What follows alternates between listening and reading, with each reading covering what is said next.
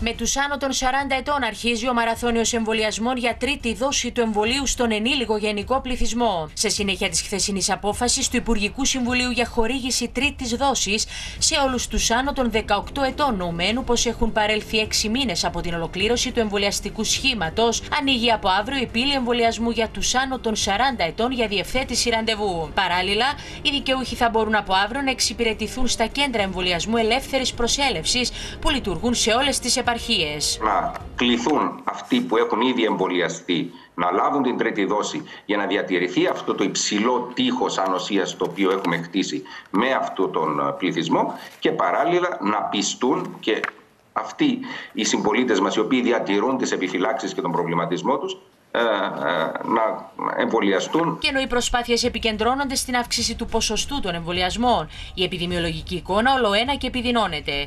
Τα ημερήσια επιβεβαιωμένα περιστατικά αυξάνονται, το ίδιο και οι νοσηλίε. Ο νεαρότερος ασθενής είναι μόλις 23 ετών και νοσηλεύεται στην μονάδα εντατικής θεραπείας.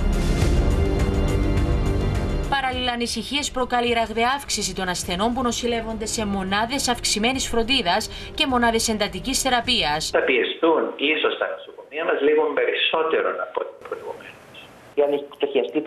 εικόνα, τότε θα υπάρχει παρέμβαση και θα ληφθούν ε, επιπρόσθετα μέτρα. Εξάλλου, κλήθη να σχολιάσει το μέτρο που εφάρμοσε η Αυστρία, να επιβάλλει δηλαδή lockdown στους ανεμβολίαστου. Ο εκπρόσωπος της Κομισιόν Αρμόδιος για θέματα υγείας χαρακτηρίσει ως εθνική απόφαση τη λήψη μέτρων.